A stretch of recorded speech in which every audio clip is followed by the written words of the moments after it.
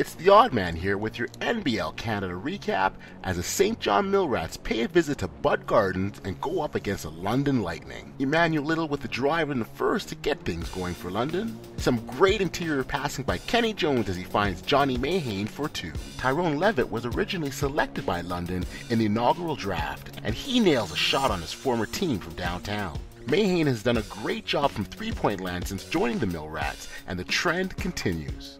Alex Johnson chips in with one of his own. Raheem Singleton slips a nice pass to Eric Cruikshank, who drops the lay-in. Jonathan Mills muscles in this shot, gets the and one, and the spectacular finish. Marvin Phillips hits a three-point shot for London.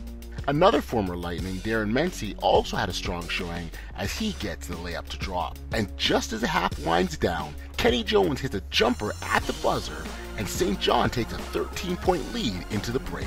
More of the same in the second half as Mayhane hits again from downtown. He had 22. Levett also hits another three. He had 23. With a strong game of 22 and 12, Marvin Phillips did his part by following up his missed shot for two more. And Adrian Moss also hits a three right here. And the stat sheet doesn't lie, and it's tough to beat a team that has six players in double digit scoring going into the fourth. Darin Mency gets the and one on this layup, and that pretty much does it for London, as the Millrats walk away with a convincing victory of 122 109. And get this, St. John picks up their first victory in London since November 13, 2011.